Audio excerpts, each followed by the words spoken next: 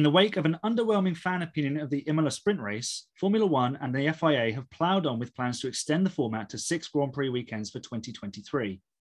First introduced in 2021, the format was met with, mi- with mixed opinion despite its dramatic consequences on the three Grand Prix that followed each Saturday sprint. This year, 2022, the format has been held at Imola already and will be run again in Australia, in Austria, and in Brazil. Welcome to a special episode of the Five Red Lights F1 podcast. My name is Aaron Harper. In today's episode, I'll be discussing the sprint format, its value to the Grand Prix, Ross Brawn's inflammatory response to criticism, and potential fixes for the format. As I said, this is a special episode, so I needed a guest to fit it. I'm joined by Ash from the Outside Line. How are you doing, Ash? I'm really good, thank you. Thanks for having me on. Thanks so much for coming on. What is the Outside Line and where can we find it? Um, so the outside line is on YouTube. It is uh, my channel, and it, it it's kind of uh, become a, a, almost a nostalgia trip. It's kind of playing back through old F1 games and also old racing games, uh, looking back through old motorsport stories, uh, and I do a little bit of modern stuff sprinkled in here and there as well. Um, but yeah, at the minute I'm going through F1 97, already done the original F1 game for PlayStation. I've just started a playthrough of Gran Turismo 3 as well. So I'm, I'm on YouTube and uh, yeah, uh, hopefully uh, people will find it. Brilliant.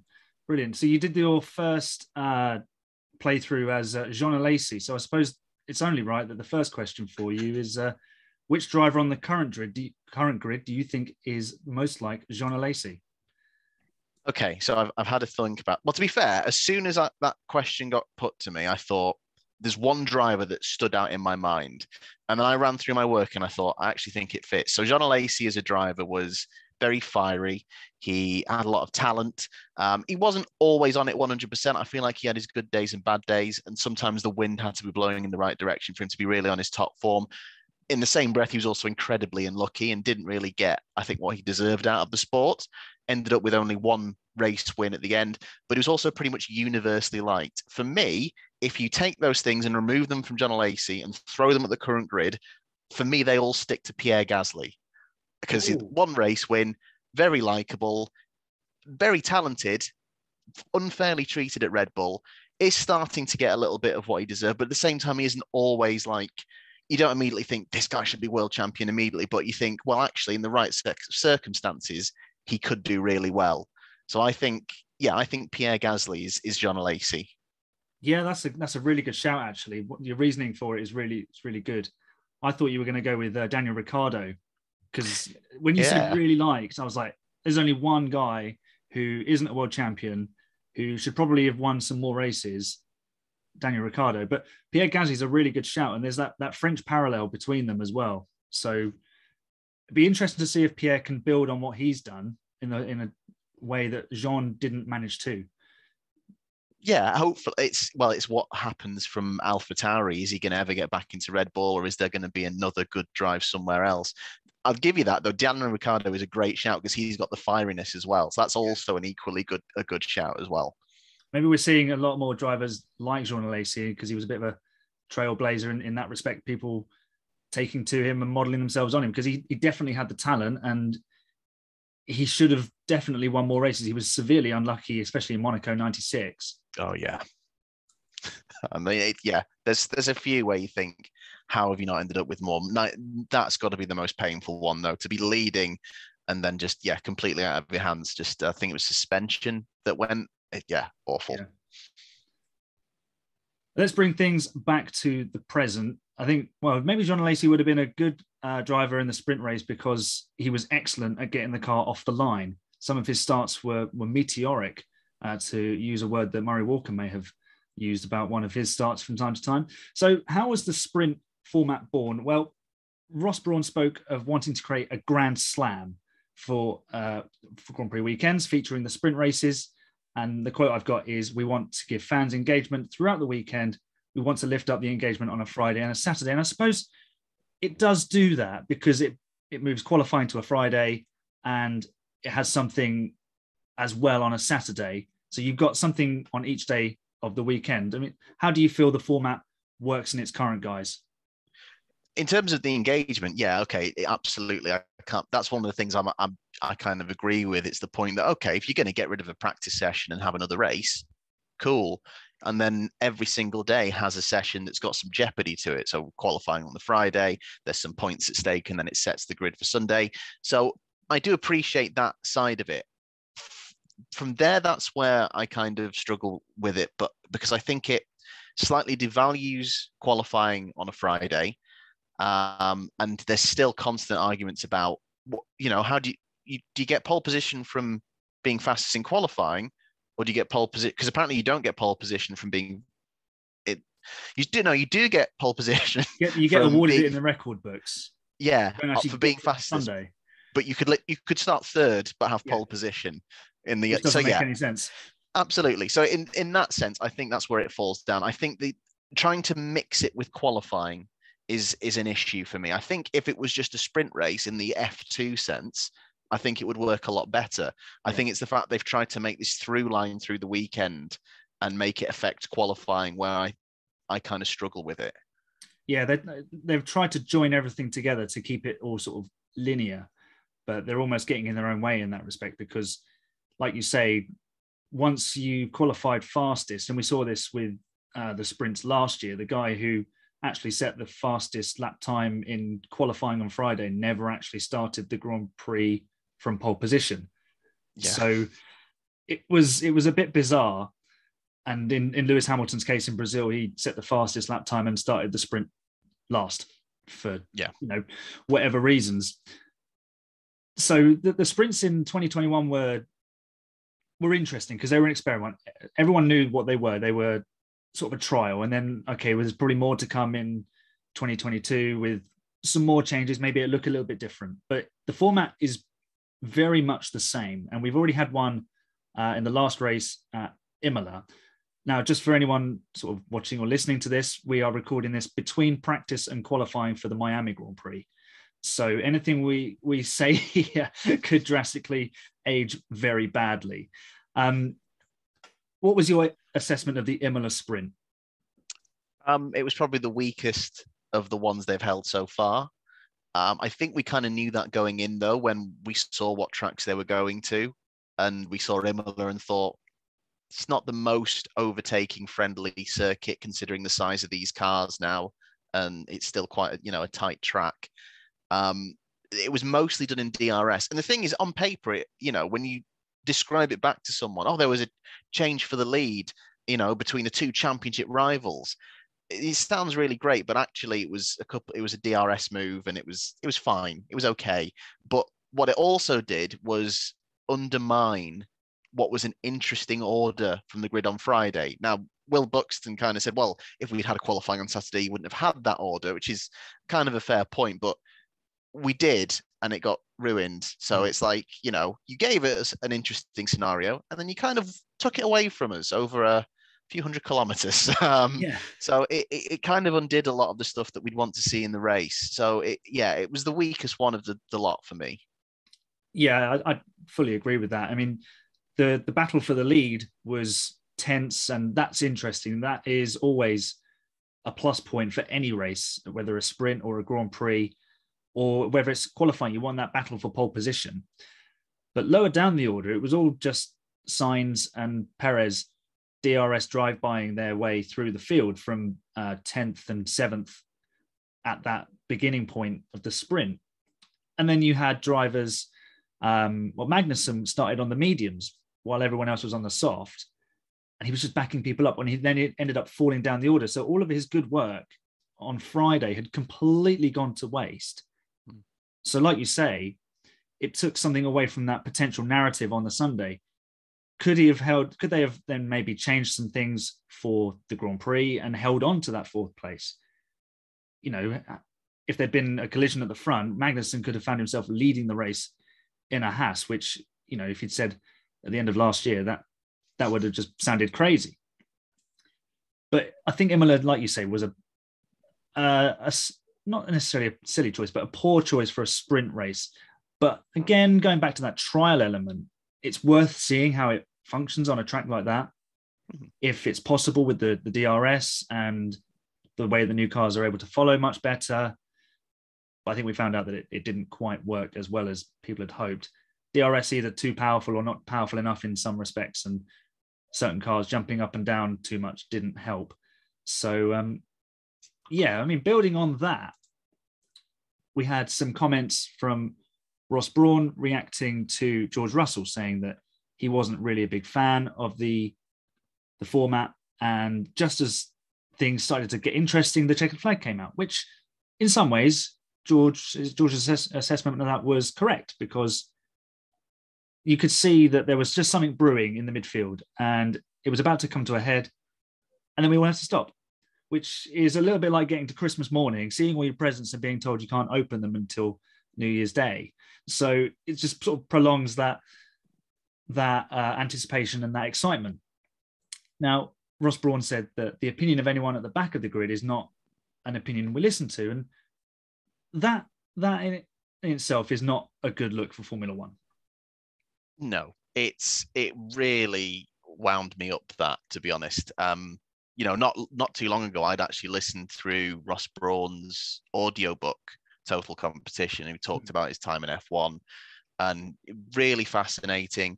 But it also sh- it showed a picture of a man who was very pragmatic, who is kind of very open to kind of change and collaboration.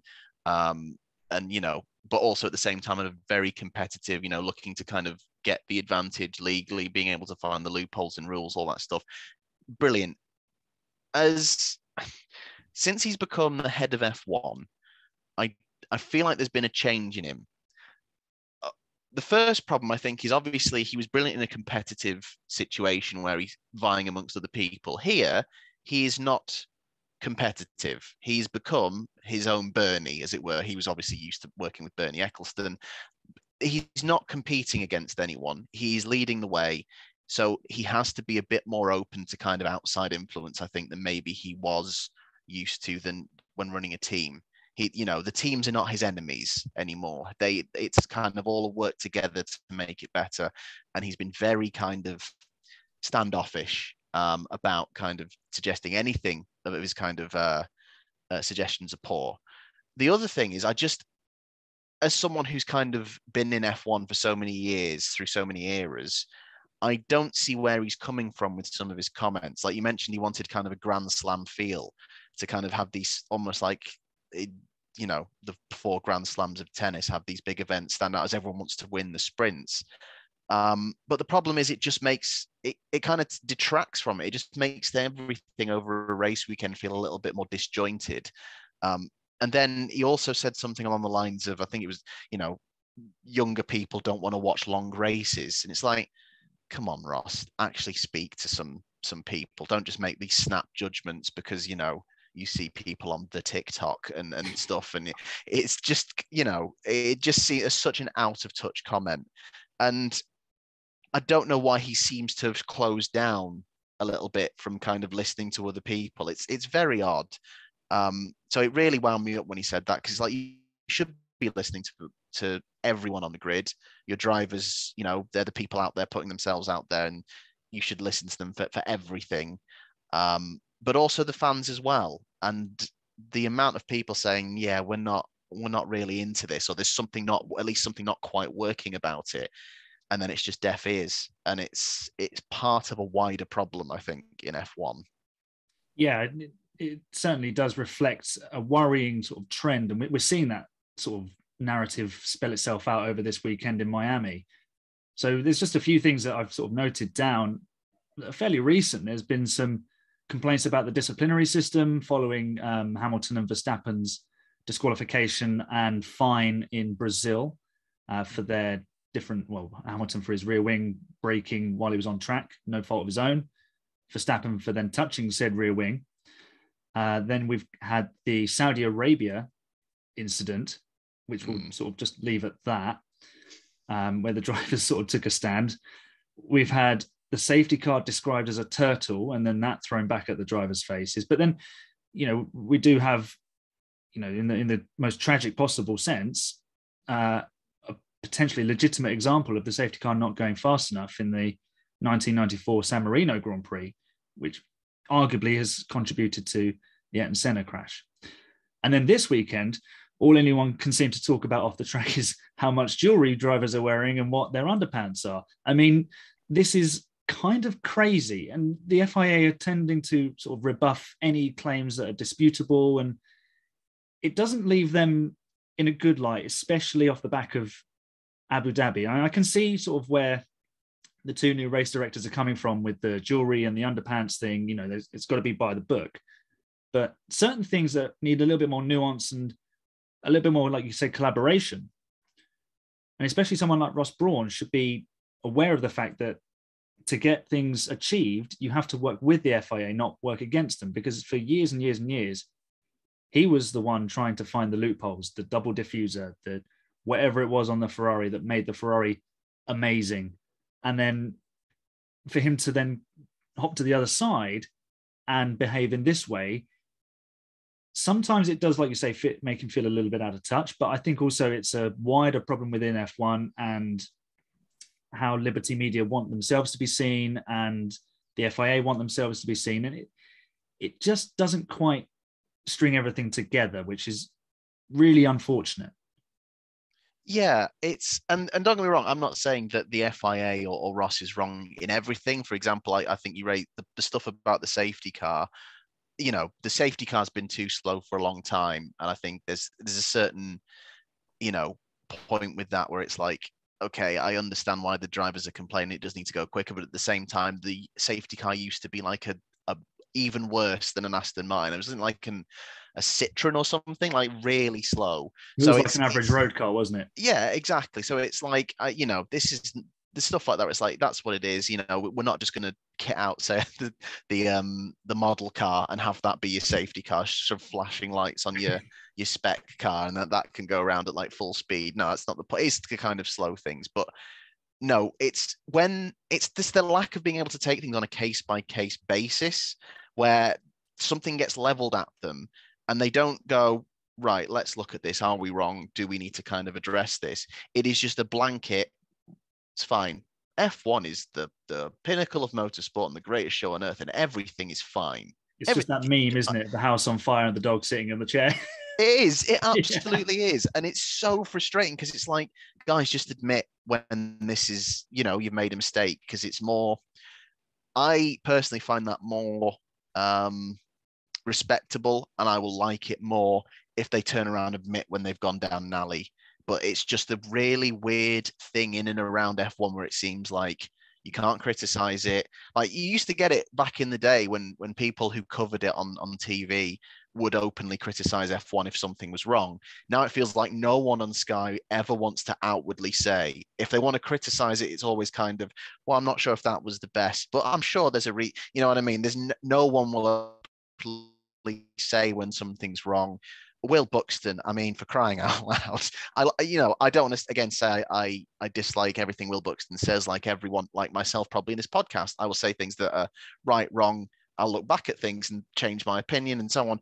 But I feel like no matter what Will Buxton says, whether it's right or wrong, is always yes F1. You know what I mean? It's just, eh, yeah. and this is the problem. It's just like creating this weird, slightly right wingy feel where it's like everything has to be great. Don't ever say anything's wrong. God forbid. And that's why so many problems persist in the sport. Um, and don't get me wrong, in the grand scheme of things, sprint qualifying and, and what happens with it is probably quite minor. Consistencies with the application of rules is, is the one that sticks out for, for me, not just from that big one last year, but throughout seasons before. And it's that lack of being able to kind of, you know, take that on the chin and go, you know what, we made a mistake here. Um, so let's of, adapt. It's the lack of being able to sort of be self-critical and analyze.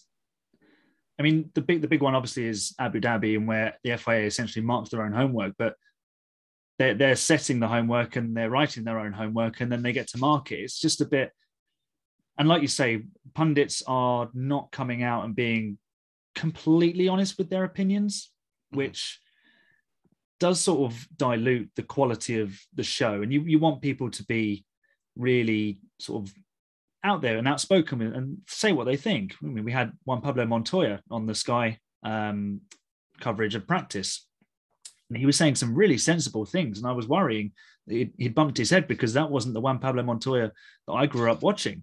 You know, he, you know, there's a videos of him. You could just YouTube it. He bumps into a cameraman, and you know, it's it's entirely Juan Pablo's fault, but it still makes the cameraman feel terrible about it. But and those those sort of characters, you you need those on TV to be able to say what they they think, and almost just keep the FIA in check because the FIA and Formula One are big corporations and you can't always expect them to manage themselves appropriately and in the right way. So if people just sort of keep sort of pointing the finger at them and just making them aware that they need to be conducting themselves correctly, that that is completely fair, I would say, because as long as no one is speaking out of turn, then everyone has right to to sort of criticize and everyone should be open to criticism and constructive criticism. And these comments that Ross Brawn made in the wake of the sprint and what George Russell said, what Russell wasn't being outwardly derogatory about the sprint. You just said, "I'm not, I'm not a big fan of it." You know, he's the one having to compete in it, and obviously he's on on the back of a, a poor result. But you know, he's had now four races in the sprint where he's probably been stuck at the back. Well, actually, he was in the midfield at Silverstone because he performed heroics in that Williams. So you know that they're the sort of people you want to be getting a, an idea from because they're spending 100 kilometers racing everybody else if you just sort of sort of uh it off to people at the front. They're not really racing each other. You know we saw in silverstone uh verstappen and hamilton they dueled for the first lap. They didn't crash. And uh, then they didn't really get too close to each other. So the FIA does need to be open to that sort of thing. And it does leave a lot to be desired. So it it does, like you say, does mean that the FIA need to sort of conduct themselves properly. Now, a question we've got to ask ourselves is does the sprint add value to the Grand Prix? And to do that, we need to have a look at the real reason the sprints came about. And you mentioned earlier about Ross Brawn saying that uh, younger fans like to watch a shorter race they find that more appealing. I think that's a misguided belief. What do you think? I completely agree. It's misguided. It's it is a generalization that you know attention spans of younger people are just you know they only want to watch instagram reels and tiktoks and they want really short form content. They're not interested anymore in films and races that last over you know half an hour. It you know and it's a really misguided belief. And the amount of uh, younger f1 fans who you know are on twitter after those comments said you're you don't know what you're talking about. Um, so it's a very strange, a very strange thing to me. Um, and I, I think one of the real reasons was at the time when this idea came about, it was before the new regs were coming in. They'd already announced that the regs were coming. We knew this was going to happen. Um, but they were just desperate to have some more overtaking action in the interim. And before the sprints came in in like 2020, um, uh, sorry, 2021, but they, they were announced in 2020. That season was still very much the Lewis Hamilton and Mercedes show with maybe a little bit of a Verstappen in there. And I feel like it was just a, a quick plaster over the situation of we don't have good racing action or a tight field. So let's try and do something to, to, to try and mix it up. And to me, I don't understand why A, with the regs coming, they didn't just wait. And B, now the regs are here. Do we really still need it. Like I, I don't think so. I think it was just kind of trying to shove a plaster over a wider problem. I'm still open to it because obviously, like you say, if we're going to get rid of a practice session for another race, cool. Maybe just not in its its current guise.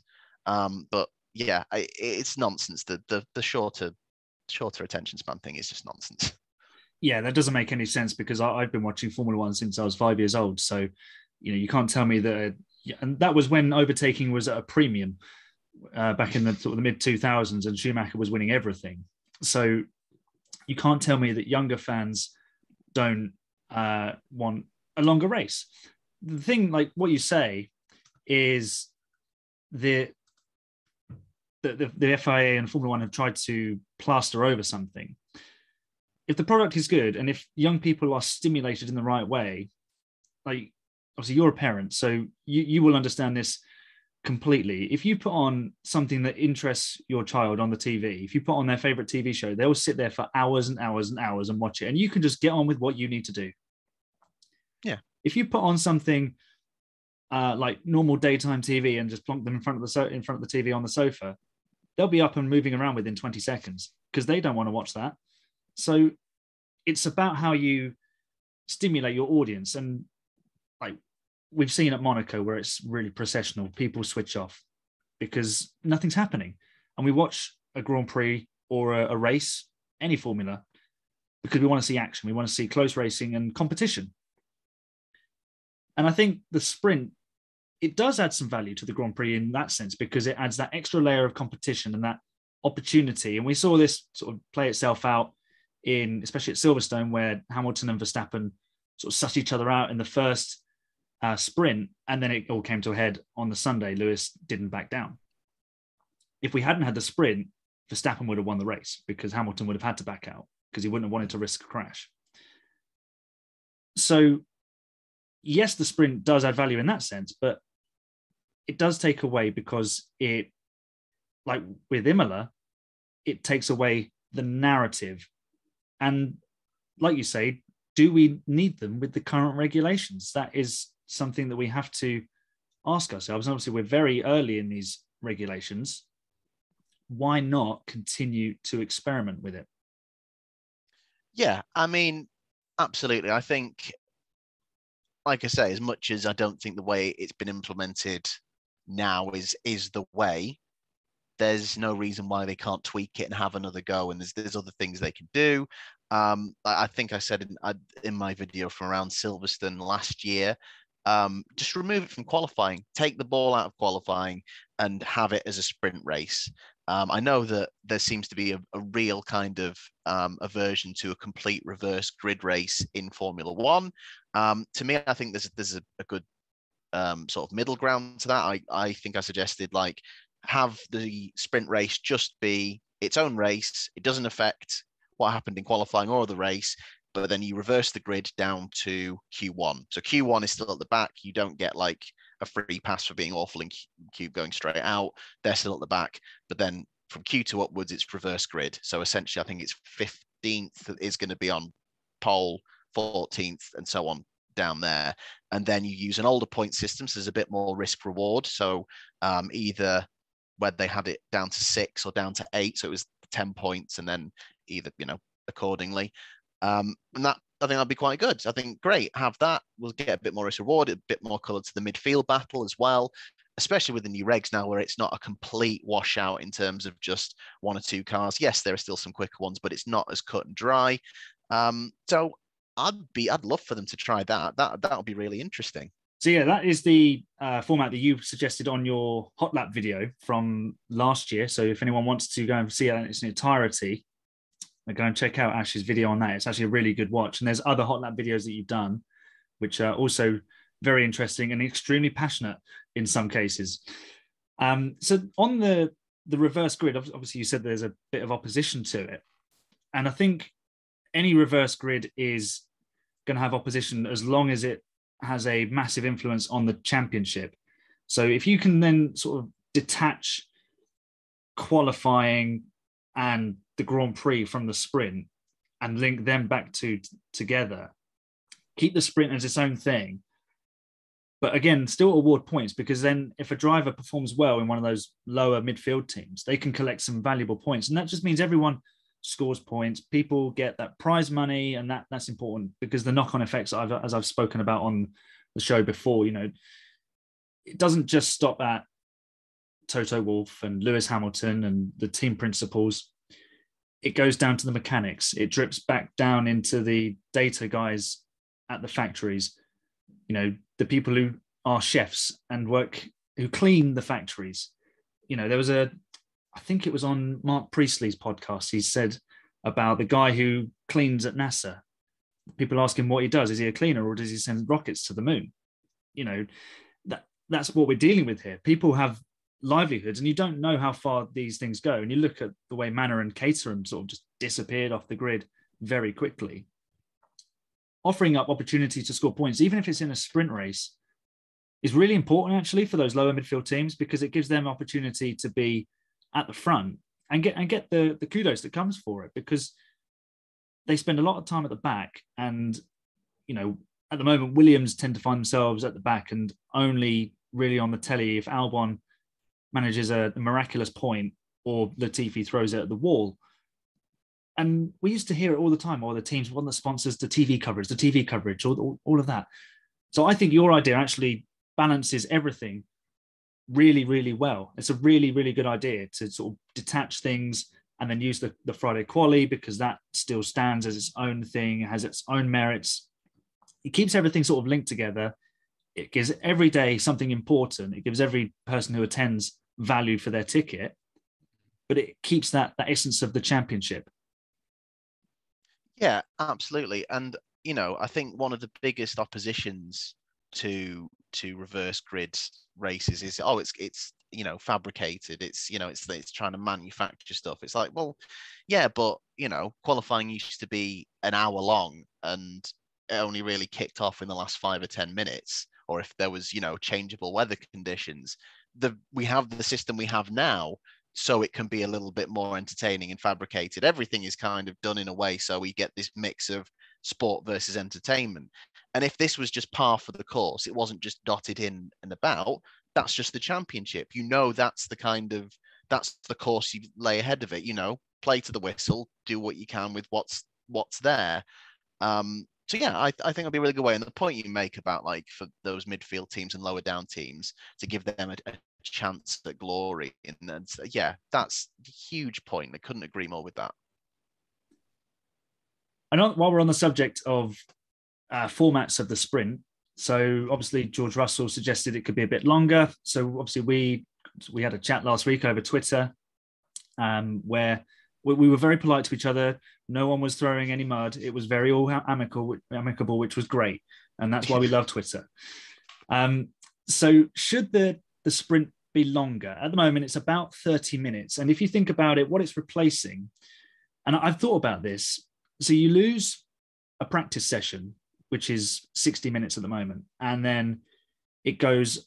The sprint goes in place of a sixty minute qualifying hour or in Imola's case, a two hour qualifying hour with all the red flags.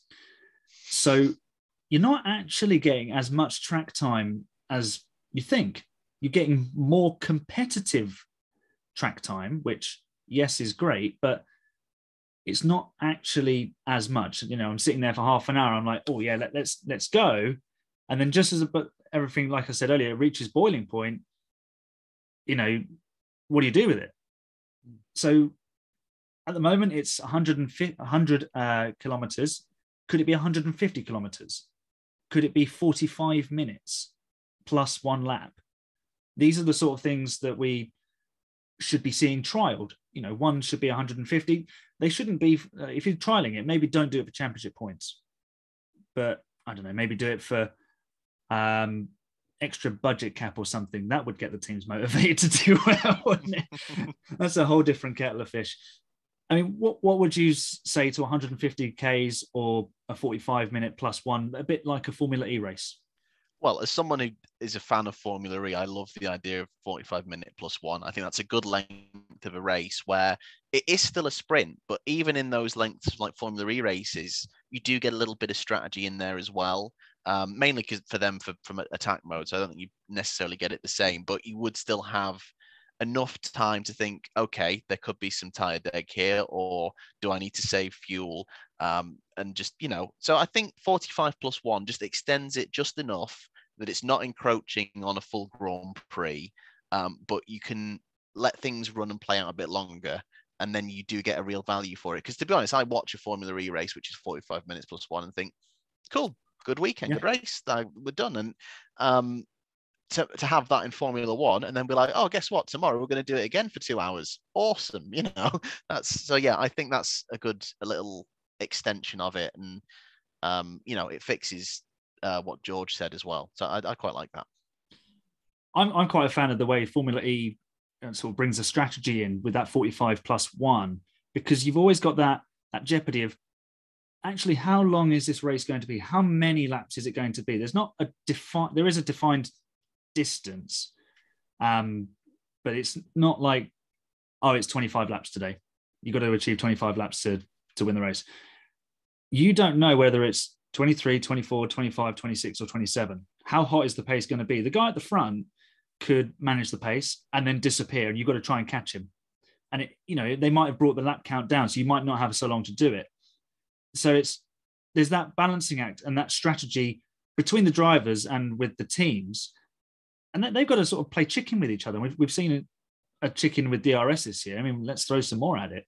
It would be really interesting to see how the top drivers handle that. It just adds another element to the way you have to conduct yourself in the car and how you have to prepare out of it, which would be really interesting. And obviously, 150 kilometers, I think it just gives you more racing, and I'm down for more racing. Oh yeah, hundred percent. And I, I, think it would be good as well if you gave them the teams the control over, like, okay, it's going to be this amount, but because it's not like you say a defined length, it's like right, how much fuel do we put in?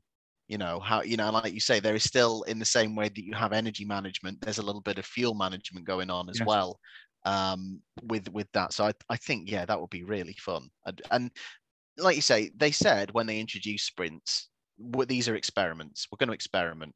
They've done very little to tweak it since, apart from add a few more points and change the name of you know the, what you get on Friday. Um, so yeah, let's see. Let's tweak a bit more. Go experiment a bit more with it. Absolutely.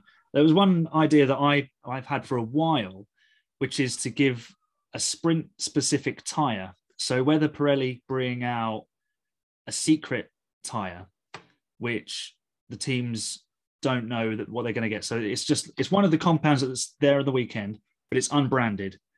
So all it has is Pirelli on it in like a I don't know, make it bright pink or something. So you don't know whether it's a soft, a medium, or a hard from that from that weekend. So the driver then has to work out what they've actually got and you know, if you underdrive it to start with, you might suffer with graining. If you overdrive it, your tires might just fall apart, and all of a sudden you have drivers having to pit. So it, it could just throw a complete um, random into it, which you know, for a driver who nails it, okay, there's a little bit of luck and a little bit of fortune, but you've got to work out how to get the best out of your tires, and you've got to then read the data. The driver then has to be sort of light on his feet to to react to what's going on. A driver who is able to read the situation, take Fernando Alonso, always a step ahead of the game, always knows what's going on. That might play into his hands. Or you bring out an actual tire that is specific for the sprint that the teams all know and they get a chance to use it in practice. And then they can sort of work with it from there. And it's something that maybe does do the full distance, maybe it doesn't do the full distance. And then you've got to manage it and you've got to look after it. So there's there's different ways. And like we say, you've got to experiment. And we've only seen one format so far, which is kind of disappointing. Yeah, it is. And I, I love that. I love the idea of giving them just a, a mystery tire, as it were. Like it could, because obviously Pirelli kind of make the choice, um, and it's still like what C C. Well, I don't know what the numbers are now. Isn't like one, two, three, four, or five. One, three, four, five. So there's no reason why they could like select um one of those, or they could literally go one in the other direction, or they mm. don't always select in sequence, do they, as well? So they could easily pick a compound in between yeah. and just give them. And I love that because that's then on the driver and the team in the moment to work it out, like compared to what they know in practice, for the driver to feel it out. That would be really, really fun. And the thing that I think, you know, F1, they get they get so much data now. So they're able to prepare and learn so much. And I think being able to give them a little bit less of it, where they have, it is about their skill and their ability to kind of think on the fly. It's a bit more on the drivers. I, I, I love that as an idea. I would, I'd be up for not giving them it in practice at all and be like, it's going to be a Pirelli tire. You'll have used it at some point in the season, maybe yeah. not this weekend. To work out what it is. Yeah, exactly. But uh, you know, so I'm, I'm very much up for that. So yeah, it just, yeah, it would be great for them to try. Like Ross Brawn, going back to him, was one of the great innovators of, of you know the sport. I'd love to see him do it a bit more in his role now because I think it's what it's crying out for. Definitely. Yeah, absolutely. And the thing is, I think uh, some of those super hard tires from sort of like 2013 are knocking about still. They were never used. You know, throw them at it. Why not? Oh yeah, exactly. Why not? And yeah, I think there's so much potential in it. And as much as I'm kind of at the minute in its current form, if it was a choice of have this or nothing, I'd be like, nothing, please. I th- I'd prefer the way it was. It's not broken, but at the same time, there is still potential in this, and I'd be happy for them to try and try it, you know, try out a bit more. Um, and as much as we kind of said, look, the, the FIA kind of needs to be open to criticism when it's valid. I don't think any of us do it because we like complaining. I think we all do it because we want to see a better Formula One. Of course, we, we, love what we see, and absolutely, it's not do to it do because it. you love it. Yeah, exactly, and it's not to do it to kind of be negative or to be down on the FIA. I do, and you know, there are people out there who just love complaining for the sake of it. I don't. I want to love this sport, and I do, well, I do love this sport, but I want to kind of love everything about it. And when you see a wasted potential, you want to be like, "Come on, guys, there's a chance here. Let's let's go for it." So, yeah, and I said this at the end of my hot lap video. I feel like we've solved it, and I feel like you know Ross Brawn knows where to find us. Um, so and I, I'll send him a link feel, to the podcast. exactly. It's just like Ross, you know, we, you know, we're fans of your days, you know, back. I love Brawn and Ferrari. It's great. You just, just talk it out. You know, we've, we've got it. Let's have a round table over Zoom. Be great. Absolutely, yeah. And then if we have to go to a Grand Prix or two just to talk it through further, that's fine as well. I'll I'm stay okay here because I'm scared that. of flying.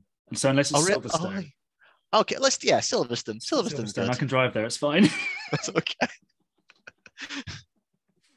Don't send me to Australia. I, I have actually been to Australia, which is a like on a random topic, nothing to do with Formula One. I always say to people, I'm terrified of flying. Oh, but yeah, but I've been to Australia. They're like, what? How did you manage that? Was it a very long boat trip or? I know it was a plane.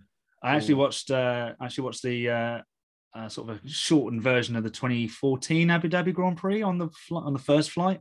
So that got oh, me through. I was like, oh yay, Formula One, woo! yeah, keep me distracted. Yeah, we, we, could get we could get the ferry to Le, Le Castellet or mainland Europe. Oh yeah, I can deal with that. Be fine. There's loads of other Grand Prix we could do. Oh yeah. All right, so that are that they that are English, Aaron. Come on, words, grammar.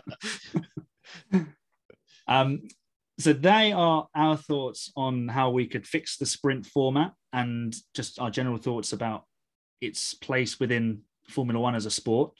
Let us know your thoughts on the sprint format. Uh, you can find us on Twitter. Uh, what's your Twitter handle, Ash? Just for anyone who wants to find you. Oh, that's a great question. I think I'm at outside line YT um, off the top of my head because I'm it. really clever and don't have the same handle for everything. I, I, do have it written down here. It's at outside line underscore YT. So close. Very close. Um, so we're going to move on now to, and this is this isn't by design. Uh, this is just a coincidence. The sprint finish to the episode. So whenever I have a guest on, I want to fire some questions to them that they have not seen in advance, and basically, I want to I want your first answer that comes to mind, Ash. Uh, so okay. I've got five questions. They're all to do with the 2022 season. Some of them may age uh, badly quite quickly, uh, because, like I said earlier, we're recording between practice and qualifying for Miami. Uh, so one of them is about uh, someone's win. So, you know, it could change by tomorrow, uh, which okay. could be yesterday by the time you're hearing this. so um, let's crack on with the sprint finish. So the first question is who has the better overall package, Ferrari or Red Bull? Ferrari, definitely. Do you want? Do you want me to expand? How quick is it? Expand on that if you want to. You can expand, so, yeah, on if you want to. I mean, they're quite evenly matched on pace. Reliability is a huge difference, and we've seen it over the course this weekend. That again, it's kind of struck for Red Bull. Um, and you know, yes, Red Bull kind of pulled maybe the upper hand at Imola, but they brought their first upgrade package. Ferrari finally brought theirs this weekend. So for me, it's it's Ferrari. I think they're pretty even, but reliability kind of definitely sways it more. Ferrari and Leclerc man to beat. Well, that's Verstappen getting pole in half an hour by a second. uh, so, second question: Which car has the best looking livery? Oh, oh I, I, hate to kind of do the same answer again. That Ferrari is so good. Like it is a proper throwback to the early 90s of the Ferraris that Alesi even Mhm. drove to kind of bring it a little bit full circle. It's so so simple, so nice. And considering the messes of liveries that we saw from like the weird sort of fade that we had on last year's with this, the splash of green, um, yeah, eh, this year they've absolutely nailed it. That Ferrari is a beautiful car. It does look mean, doesn't it? And you know, it looks as fast as it is, which is great. Yeah. Question three then. Will Mick Schumacher score a point this season? I think he will. Um, I think he will because you know there's still a lot of unknowns coming through this season as as uh, you know teams upgrade. We you know kind of feel things out. They go to these tracks for the first time with these regs. Um, I think he'll get better. Um, obviously he's kind of been shown up a little bit by Kev at the minute. Um, but to be fair, Kevin Magnussen has long been a great driver and has got a lot of experience. It is still only Mick's second season Yeah. in F1.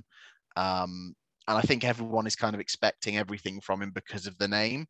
And some people call him a name merchant. I think that's slightly unfair. He may not be to the level that I think, you know, people would love him to be for that kind of continuity of father and son. Uh, but he's not a slouch by any means. So, right, I think there might be a track where things might click for him, might get a bit of luck. But I think there's, yeah, loads of opportunities. So I think he will score. Well, I don't think he'll outscore Kev, but he'll he'll score points definitely.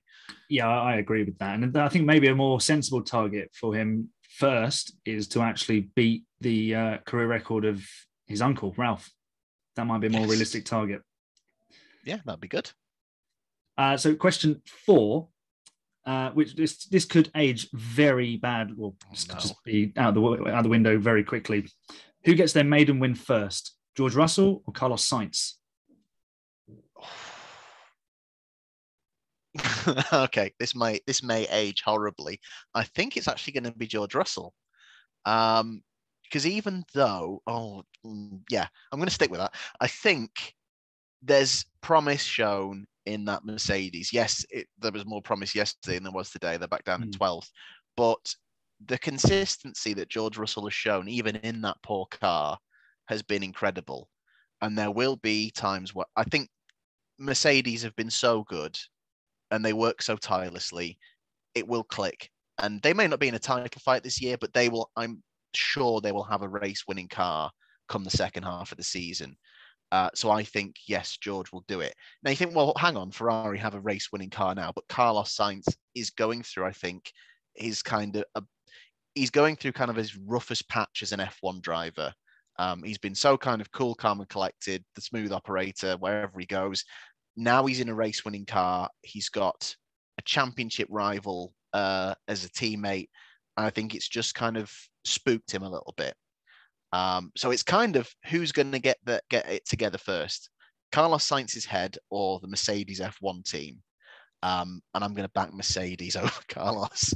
Um, but that's confirmed Carlos Sainz winning in Miami tomorrow. Absolutely. Absolutely. I mean, he's either, poor Carlos is going to come out of this either as a future world champion or he's going to come out as like a Barrichello Webber sort of guy who bad things always happen to.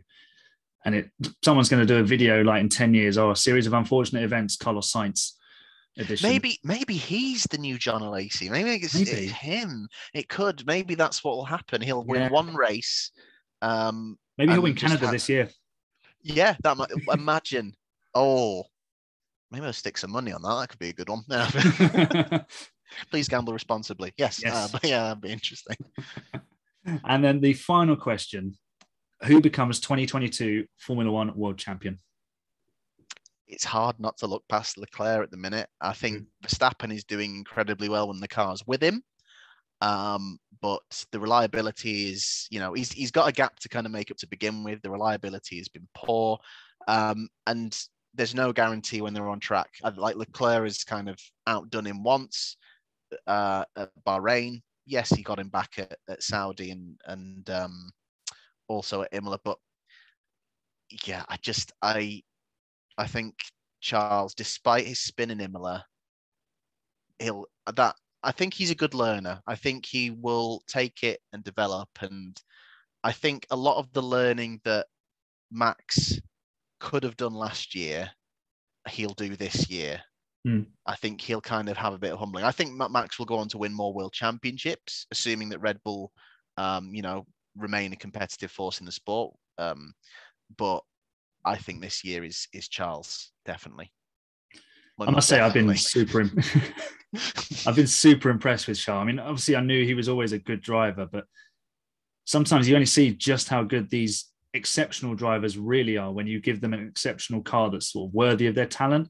And we're seeing that with Charles now. And you see, like certain drivers like Carlos Sainz, they excel in cars that are upper or sort of middle of midfield, and they're able to bag those podiums when they're on offer, maybe sneak a win but you put them in a race winning car and sometimes it just doesn't go their way. And I'm not saying that Carlos Sainz for a moment isn't ready to be a world champion. I absolutely think he is. I actually tipped him to be second uh, this season to Hamilton. So that's aged very well.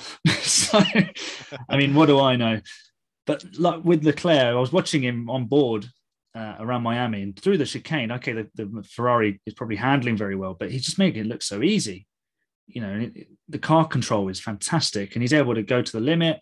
And like you say, he he learns from his mistakes. He he makes mistakes, and you know, he says he's that he's stupid, but he doesn't make that same mistake twice, which I think is a really good trait to have. You can make a mistake, and everyone is allowed a mistake or two within a season. It's just how you learn from them, that's what Lewis Hamilton has done for years. He's made like the odd error, learned from it. He learned from his experience with Rosberg, and he's he's learned from his experiences with Verstappen so it's only fair that we allow other drivers to do the same thing. Yeah, and you know, it's as much as you think, well, you know, Max has gotten over the line and he's done it. You think that gives him an upper hand, but you know, he's an inc- Charles is so incredibly confident and um, incredibly talented, um, and they've raced each other for a long time, so it's going to still feel very familiar to him. So yeah, I it's hard to look past him. I don't think the championship fight's over by any stretch. Um, but yeah, I I think it's going to be his this year. And to be fair, you know, I for many years grew up being like, oh, Ferrari winning everything. Oh, I don't want to see him win. It's a nice, refreshing change where I actually must think for say it's- it's I'm like, refreshing, I'm a isn't it? Ferrari fan. Yeah, I was like, yeah, go on, Ferrari, go on. I was sit, I was sitting down the other day, the other day, and I'm thinking, I've got to write an episode where it looks like a confession. I think I'm coming out as a Ferrari fan. I Yeah. have to write an apology to my mum because she hates Ferrari. Oh, really? Oh, wow. I mean, neither of us liked uh, Schumacher growing up. Well, I, when I was growing up, and we were always McLaren fans. Mika Hakkinen, and David Coulthard. Likewise. Yeah, yeah. A pointless fact. I mean, I saw a Hayton Coulthard uh, haulage van drive past my house the other day, which is David Alright. Coulthard's family business. I did not know that. Yeah. Really? Yeah. Oh, okay, uh, I'll be on the lookout for those now everywhere Yeah, I they're go. like bright red, and they've got the Scottish saltire on them. So they're Oh, everywhere. that's going to be like my annoying dad fact. Every time I see one, it's going to be like, "Hey guys, did you know that is uh, that, that lorry? That's David Coulthard's family business."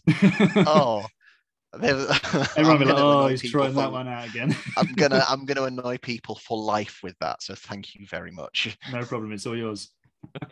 and it's yours if you're listening to this episode. We've reached the end of this episode. Thank you so much, Ash, for joining me. It's been absolutely fantastic uh, chatting to you. I'm sure we'll do this again at some point soon. I mean, I'm finishing almost in Korea 2010 levels of darkness. I should have got my my Halo light out. um, I've I've been doused by the sun for the whole thing, so it's it's fine. it's balancing out. It's balancing out. Yeah. Um, follow me on Twitter at five underscore red underscore lights. And Ash, where can we find the outside line and where can we follow you on Twitter? So you can follow me on Twitter, and I've practiced with got a reminder outside outside line underscore YT on Twitter or the outside line on YouTube. Excellent. And make sure you catch up with Ash's uh, current project, which I believe is 1997 and Olivier Panis.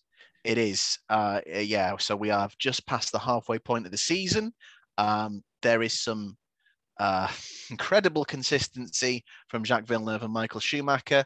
Uh, but when you know we're we're in amongst it, trying to give uh, Panis and his uh, the one good Prost Grand Prix car um, a little bit of justice. Are you, are you allowed to call him Jacques Villeneuve or do you have to call him Williams driver number one?